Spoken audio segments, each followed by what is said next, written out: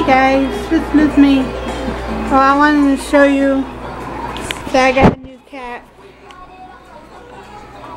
His name's Eddie. Hi Eddie. Hi Eddie. He's a kitten. I don't know how old he is. My sister found him. So, she couldn't keep him. So I took him in. And we have one puppy. One puppy left out of Bella's litter.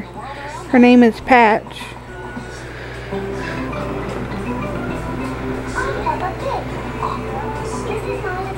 Right, Patch? Hey, Patch. And there's Bella. And there's Buttercup. Simon's on the refrigerator. And Daisy is on the TV. So not much has been going on. So she loves me. You good girl? You good girl?